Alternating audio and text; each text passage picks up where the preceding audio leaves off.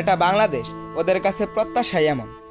বাংলাদেশের দেওয়া দুশো সাতান্ন রানের লক্ষ্যে ব্যাট করতে নেমে বিরাট কোহলির দুর্দান্ত সেঞ্চুরিতে একান্ন বল ও সাত উইকেট হাতে রেখেই জয়ের বন্দরে পৌঁছে যায় ভারত। এদিন বাংলাদেশ ব্যাটিংয়ে নেমে দুর্দান্ত শুরু করলেও শেষটা হয়েছে হতাশা। আর ঠিকঠাক দায়িত্ব নিয়েও ব্যর্থ ছিলেন বোলাররা।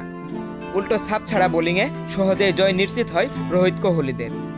এমন পারফরমেন্সের পর বাংলাদেশকে রীতিমতো ধুয়ে দিলেন ভারতের সাবেক ওপেনার রবীন্দ্র সেবাগ ক্রীড়াভিত্তিক ওয়েবসাইট ক্রিকবাজে ম্যাচ পরিবর্তন অনুষ্ঠানে বাংলাদেশকে খোঁচাই দিয়েছেন ভারতের সাবেক এই ক্রিকেটার। তার ভাষ্যমতে, দ্রুত স্পিনার নিয়ে এসেছে, কিন্তু তাতে কোনো লাভ হয়নি।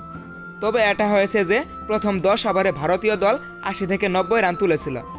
সেটি কিছুটা কম হয়েছে, তবে স্পিনার নিয়ে আসা হয়েছিল উইকেটের জন্য। সেটা পাওয়ার প্লেতে মেলেনি। বল থেমে থেমে বেটে আসছিল। আর এটা তো বাংলাদেশি আমরা কি অস্ট্রেলিয়া ইংল্যান্ডের কথা বলছি নাকি? ওদের কাছে প্রত্যাশা এমন, সেখানেই ওরা থাকবে। তিনি আরও যোগ করে বলেন, আমাদের অনুমান ছিল বাংলাদেশ দুশো ষাট থেকে দুশো পঁয়ষট্টি রান করবে। সেটিই হয়েছে। আর এই রানটা সাধারণ ক্রিকেট খেললেও হয়।